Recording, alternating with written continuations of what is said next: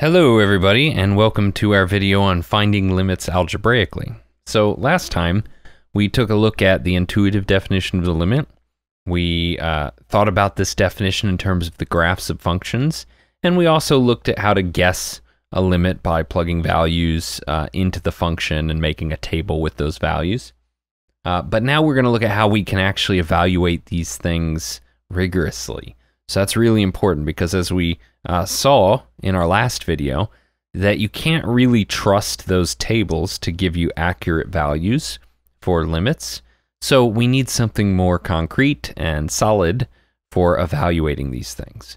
So we're going to start with a extremely important definition, but a really simple one. Uh, this definition says if a function is continuous at any x value c, then the limit as x approaches c of f of x equals f of c. So I call this a fact and a definition because this is actually the definition of continuity at a point. This is what we mean when we say something is continuous. We mean that the limit of the function is the same as the value of the function. So let's draw a picture to get a sense of what we mean by that. So first we're going to draw a couple things that are not continuous. So, for example, here, this is not continuous. Intuitively, you would say, hey, uh, there's a break in the graph, there's a jump, right? We think of uh, our earlier, more basic ways of thinking of continuity as there's no jumps, there's no skips, there's no breaks, right? So we need a stronger tool for evaluating limits than just saying there's no jumps, skips, or breaks. So how do we reformulate this? Well, here, when we have a jump, that tells us that the limit doesn't exist here, right? This is not continuous. And it's not continuous because the limit doesn't even exist. We're approaching different values from the left and right. Uh, I should say limit as x approaches 2 of f of x does not exist. There we go right? So if the limit doesn't exist, then it certainly cannot be equal to f of c, right? Doesn't exist in the first place. Okay, whereas another, uh, let's look at another example. So let's say, we'll, we'll say this is 3.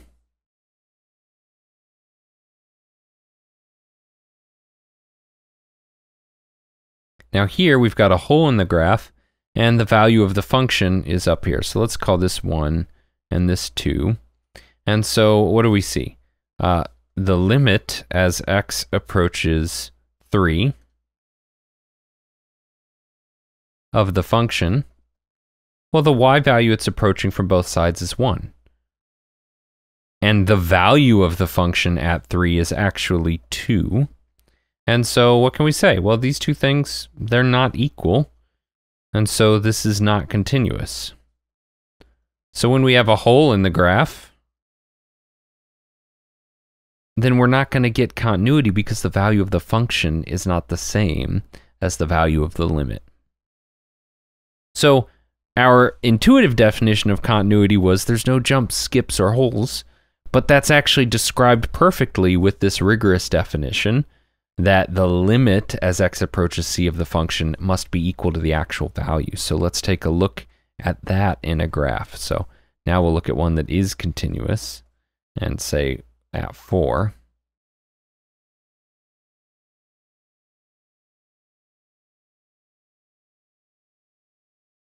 So when we look at this graph, well, what value is being approached from both both both sides? Uh, I, I know how to talk. uh, as x approaches 4, f of x is approaching 2. Uh, but that's actually the same thing as the value of the function at 4, right? There's no hole in here, so the value of the function is just this place on the graph. So these two things are equal, and so in conclusion we say that this is continuous. So this definition of continuity gives us a great tool because what this says in terms of evaluating limits is, hey, if I already know that this function is continuous, then I can just plug c into the function, and that's the uh, f of c is the value of the limit, right? That's the thing to understand from this. If I know that a function is continuous, I can just plug the number into the function and then I get my answer and I don't have to worry about anything else. Okay, so of course, not all functions are continuous. So, how do we deal with these cases where a function isn't continuous? Like this second graph, for example. This is not continuous, but the limit does exist and the limit is equal to 1.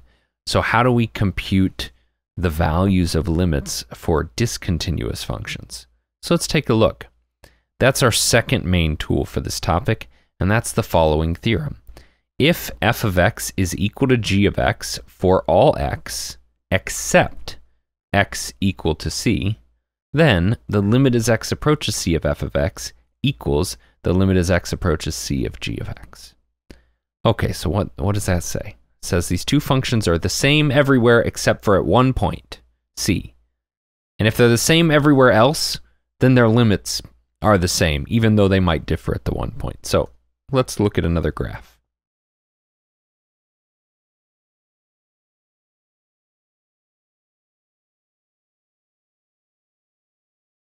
So we'll do uh, one of these in orange, how about? And so this first graph in orange has a discontinuity here. And maybe the value of the function is somewhere up here. And then we'll do another graph in blue. Now, what's the difference between these two functions? They're equal everywhere except at the point C. And in this case, we're using 3 as our value for C. So this second function that I'm going to draw in blue, it's going to be the same exact function, but it's going to actually be continuous at the point and just pass through that point.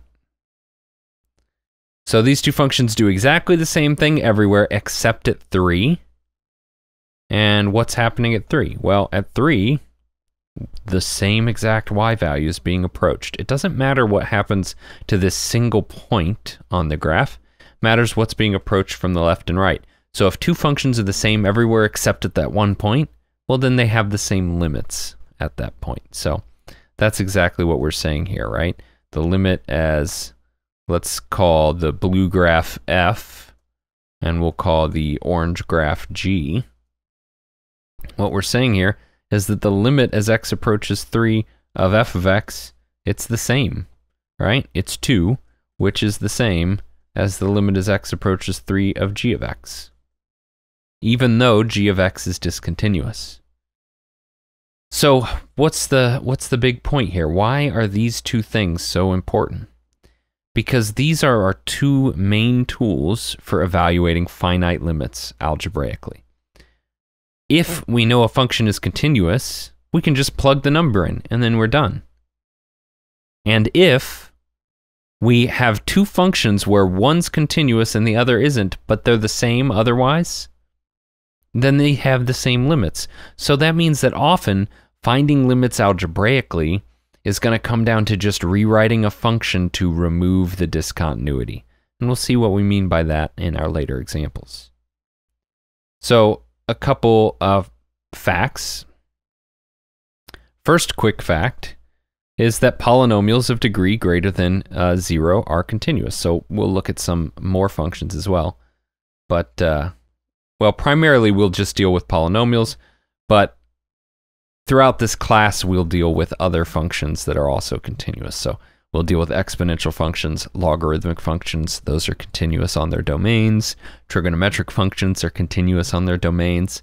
For this portion of the class so far, we'll just be focusing on polynomials and limits involving polynomials or rational functions. So, fact polynomials of degree greater than or equal to zero are continuous. And so here we've got this limit as x approaches 2 of x cubed minus 2x squared over x minus 2. Now this is not continuous at 2.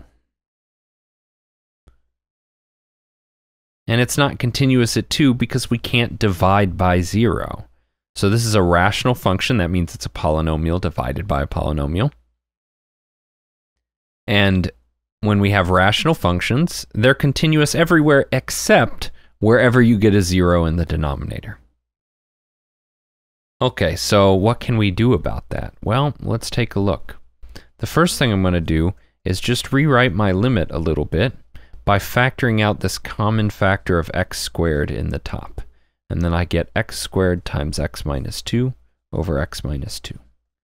And the key here is to understand that x minus 2 divided by x minus 2 is always equal to 1, unless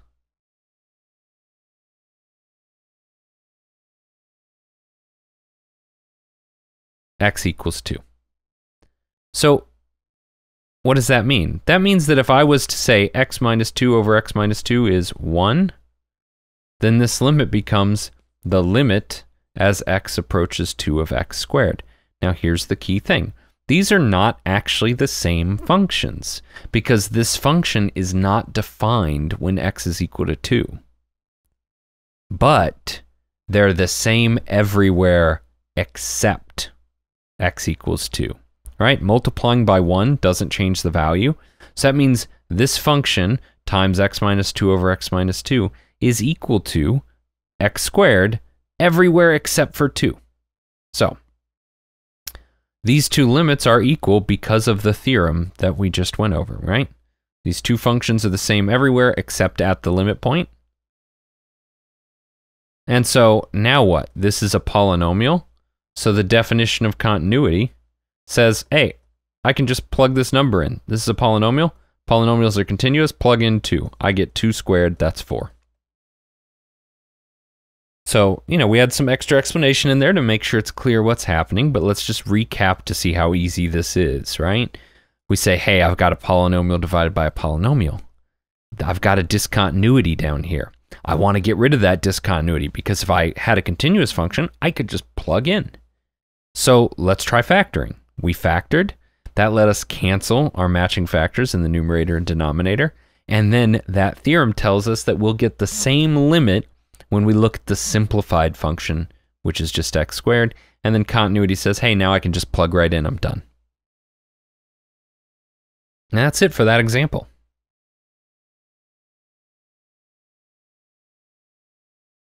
Okay, so now let's tackle another idea real quick, which is uh, what about limits that don't exist? How can we tell if a limit does not exist?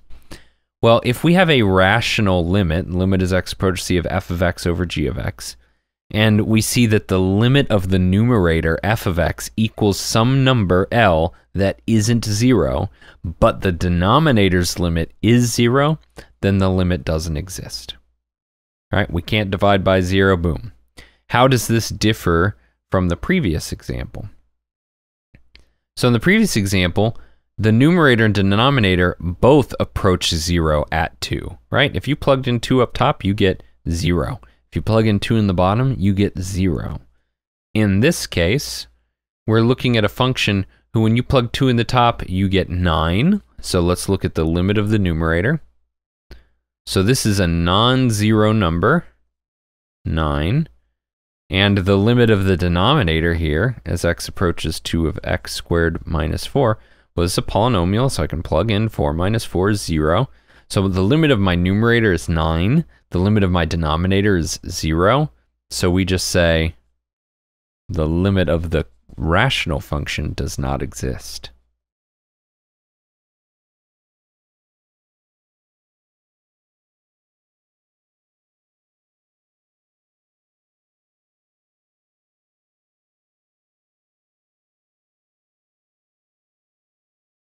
Okay, so quick fact here. So I stated this a little bit before, but we're just restating it here uh, formally.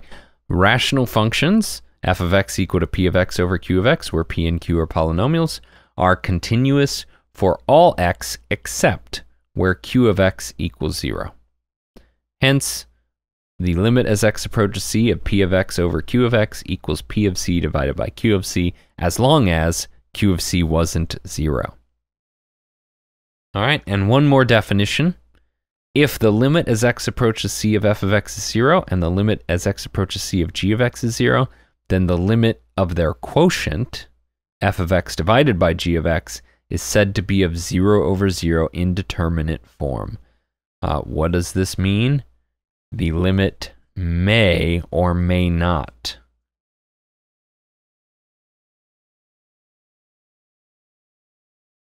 exist. So let's recap again and then we'll do some more examples. So if we look at this example one, this was 0 over 0 indeterminate form because the limit of the numerator was 0, the limit of the denominator was 0, so that's an indeterminate form. Turned out this limit did exist. We were able to work through this and actually apply continuity and evaluate the limit. Now, this was not an indeterminate form. This was a determinate form, but it determined that the limit didn't exist because our numerator was not zero, but our denominator was approaching zero. So what this tells us is that, hey, if I get this situation where the numerator approaches something that isn't zero, but the denominator approaches zero, then I'm done. The limit doesn't exist. But if I get zero for both limits, the limit of the top and the limit of the bottom, then I have to actually try something else. Right? That's all it says. Indeterminate form says you got to try something else.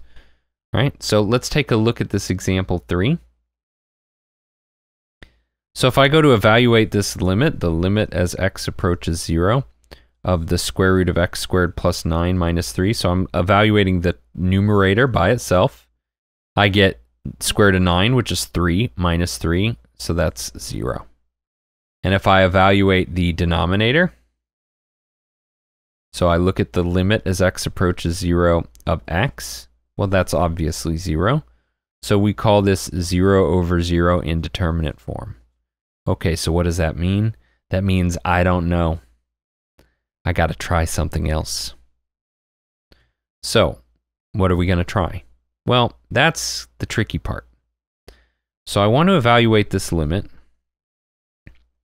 but I can't factor in this problem. So again, what are our goals? Our goals are find a continuous function that acts just like this one everywhere except for wherever the discontinuity is, right? This isn't continuous at zero because I can't divide by zero. But I can't factor here because this square root keeps me from factoring things between these two terms, right? I can't just break something. I just can't just break up the square root, right? So how can I deal with this? I want to get rid of square roots. And so we're going to do a little quick review of the idea of a conjugate. So conjugates, you may recall, are the factors of a difference of squares. So whenever you factor the difference of squares, you get a minus b times a plus b. And so these are called conjugates to one another. And we give them a special name because when I multiply them together, I get the difference of squares. I get two squared terms. Why is that so valuable? Because if I have a square root expression, a binomial type expression like this, the square root of something plus or minus something, then multiplying by the conjugate will guarantee that I won't have any square roots anymore because I have to just square both terms and subtract them. So that's what we're going to do here. I'm going to multiply by the conjugate of this expression. So this is a minus b and so the conjugate a plus b will be the square root of x squared plus 9 plus 3. But if I multiply the top by this, and I don't want my function to change, because then my limit wouldn't be the same, I have to divide also by it, right? So we're sort of doing the opposite of what we did before. Here we factored and canceled a factor to get rid of the discontinuity. Instead, here we're multiplying by a new factor on the top and bottom. It's still equal to 1 if I multiply and divide by the same thing. A number divided by itself is 1. So it doesn't change the function at all. But what it does is allows me to rewrite this limit in a way that I can actually work with. So a minus b times a plus b gives me a squared minus b squared. So that's the square root of x squared plus 9 squared minus 3 squared divided by x times the square root of x squared plus 9 plus 3.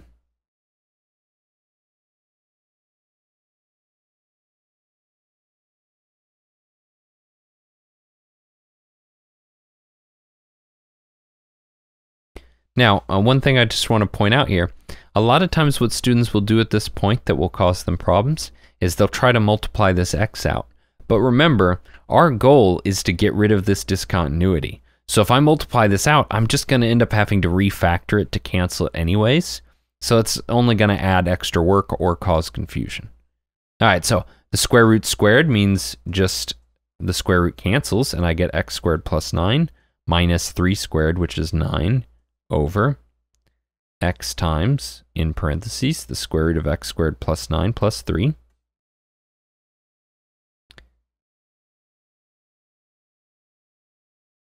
Now the limit as x approaches 0 of x squared plus 9 minus 9. The 9 minus 9 cancels. I get x squared up top, x down here.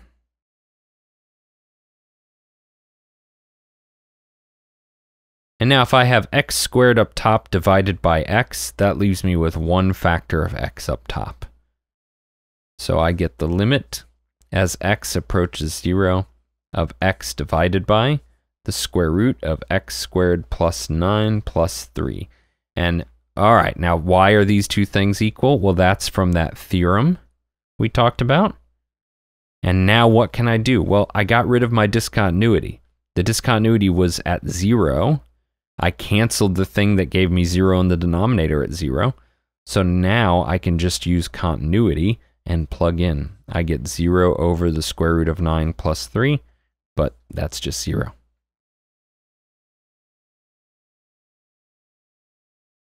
So the key thing to understand here when we're finding these limits algebraically is that the principle we're going to use for all of these problems is the same.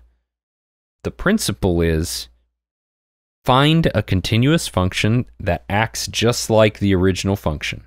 So we had a, a, bunch of functions that were all equal, but I still had that discontinuity. And then I canceled the discontinuity. Now I have a continuous function. And so now I can just plug in. How you get to the continuous function is what changes from problem to problem. And that's all about your previous algebra skills. So you have to think about all of the algebraic tools you have available uh, to try to figure out which ones will apply. There are infinitely many different limit problems that all have some variation on them. And so you really have to uh, dig into all of your toolbox from algebra and just apply the appropriate algebra tools with the goals in mind. What are the goals? Figure out how to get rid of the discontinuity, and then you can just plug in. And that's it. Okay, so let's take a look at another problem. So example 4, evaluate the limit as x approaches 1 of the cubed root of 6x plus 2. Oh no, what whatever will I do? Oh wait, cubed root functions are continuous. So all I have is a polynomial inside a cubed root. There's no problem here. This is continuous, so I don't even have to do anything. I can just plug in. Cubed root of 6 times 1 plus 2. That's the cubed root of 8. And so if I ask myself, what number multiplied by itself three times gives me 8? Oh, that's 2.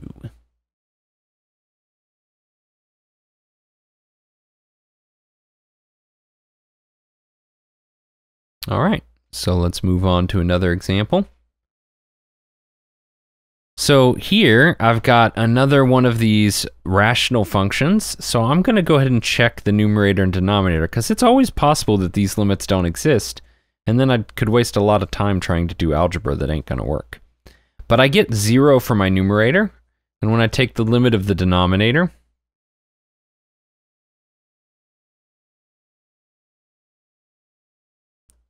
what do I get? I get 49. Negative 7 squared is 49. 5 times negative 7 is negative 35 minus 14. Oh, that's still 0.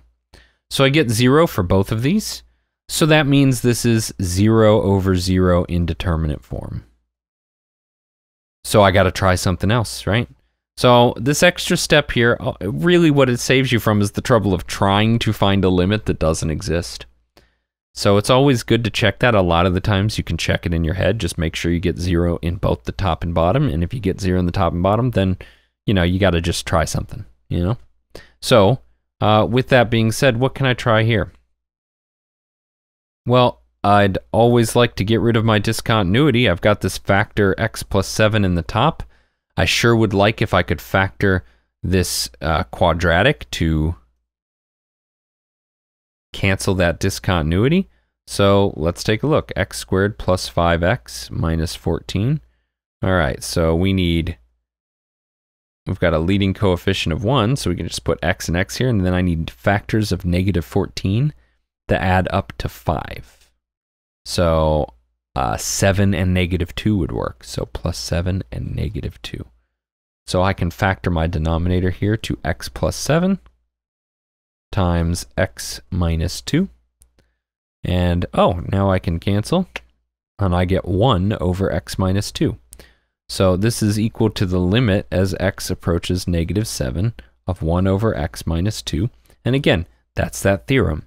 These two functions, they're the same everywhere, except at the one point, negative 7. But that means they have the same limit. And now I've got a function that's continuous at negative 7 at least. And I can apply continuity and go 1 over negative 7 minus 2. That's negative 1 ninth. Right, this is 1 over negative 9, but that's the same thing as negative 1 ninth. So again, all of these problems, the algebra is different. In the first problem, we just factored a common factor. In the uh, the problem we did right before this, or two problems before this, we multiplied by a conjugate, and that allowed us to cancel a factor after a little bit of simplification, right? In this problem, we had to do some quadratic factoring. So, yeah, we have a lot of different situations that come up algebraically, but the approaches from this course's material is the same for each one of these problems, right? You want to apply the theorem, you want to find a function that doesn't have that discontinuity anymore. And then once it's continuous at that point, you can just plug your number right in. Okay, so let's take a look at another example here. Evaluate the limit as x approaches negative 1 of x plus 1 over the square root of x squared plus 1 plus 3x. So, as usual, I'm going to go ahead and just check that I have indeterminate form, just in case this limit doesn't exist, and then, you know, I could save myself some time and just stop right there. If I plug in negative 1, I get 0 for the top. If I plug in, uh, if I evaluate the limit as x approaches negative 1 of the denominator,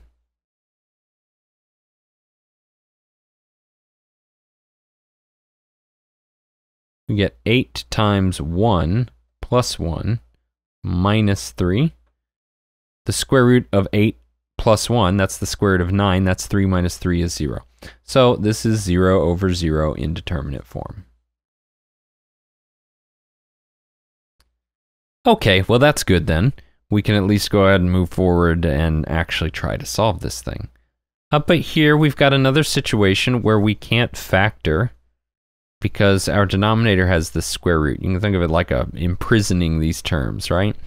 And so if we didn't have the square root, maybe maybe we could get a factor like x plus 1 to show up.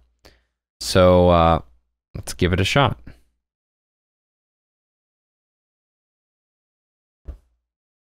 How are we going to do this? Well, again, we see a similar situation to before where we've got the square root, we'd like to get rid of the square root, and if I multiplied by the conjugate, it'll get rid of the square root.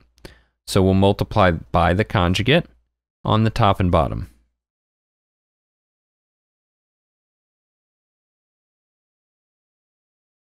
The key here is to remember this is your A plus your B, which makes this your A minus your B.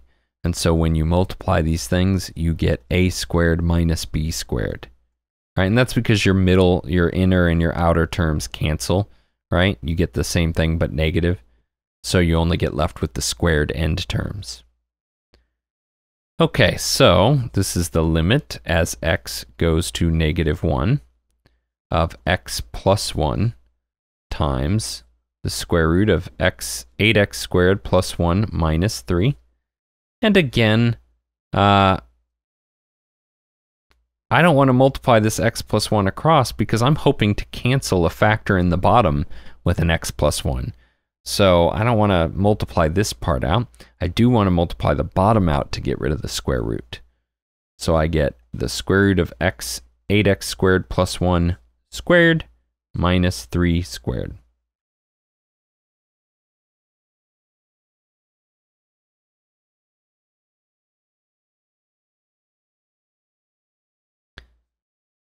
Okay, so we'll rewrite this numerator a little bit here. We get, it's the same thing.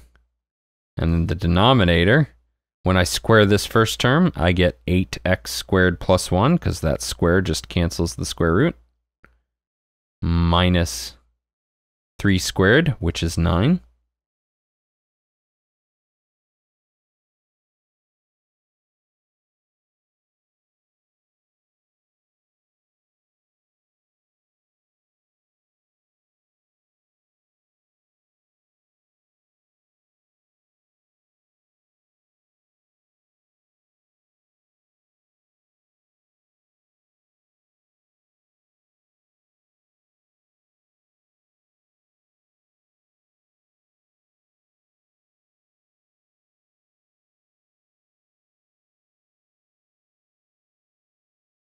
Okay, that gives me 8x squared minus 8 in the denominator.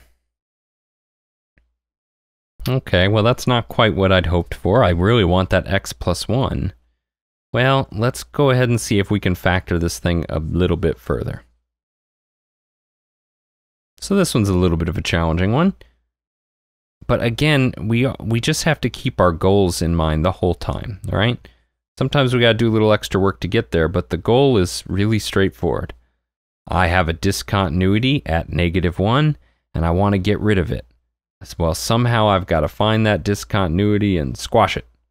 So I factor out this 8, and I get left with 8 squared minus 1. Uh, 8, I get left with x squared minus 1, I meant to say. And that's a difference of squares, so I can go ahead and factor that. So I think we're finally going to get there.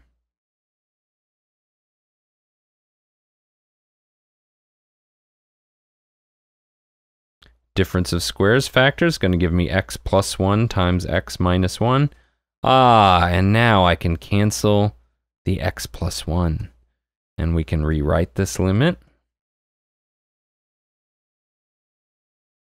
So now I've gotten rid of my discontinuity.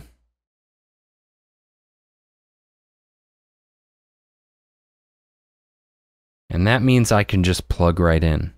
So when I plug this in, I plug in negative 1. I get 8 times 1 plus 1. That's 9. The square root of 9 is 3. That's 3 minus 3 is 0 over. Uh, 8 times negative 2. That's negative 16. So this whole limit is 0. Whew. That was a tricky one. But again, the same basic principle. Find a function that doesn't have the discontinuity, but otherwise acts the same. And then apply the definition of continuity, which says, hey, I can just plug the number in once I have a continuous function. And then you're done.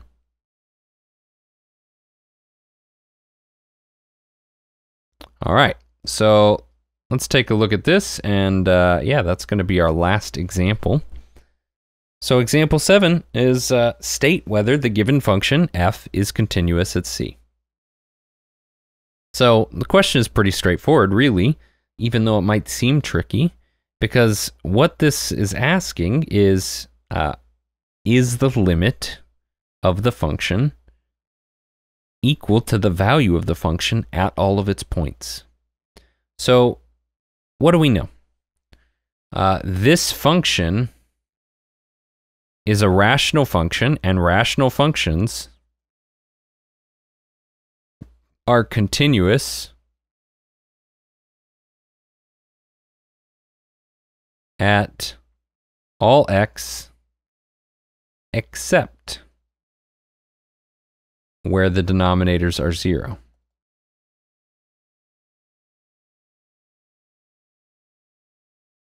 In this case, x equal to negative 2.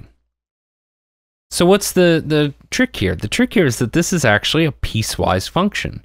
So this function is continuous everywhere except at negative 2, but the function we're dealing with is defined as negative 4 at negative 2.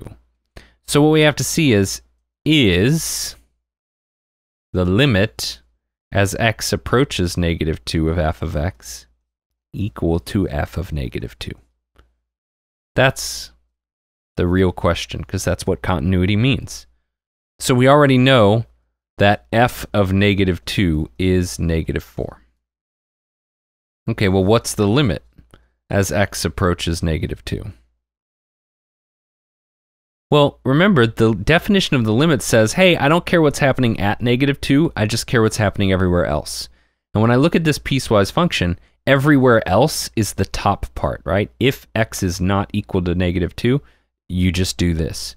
So that means if I want to evaluate the limit, I just look at that part. x squared minus 4 over x plus 2. And let's see if we can evaluate this limit. Oh, well, the top factors to x minus 2 times x plus 2. And now my theorem says, hey, I can cancel that and I'll get the same limit. And so now I've canceled my discontinuity. And so the definition of continuity says, hey, you can just plug right in now. And negative 2 minus 2 is negative 4. So, yes, f of negative 2 equals the limit as x approaches negative 2. So f is continuous.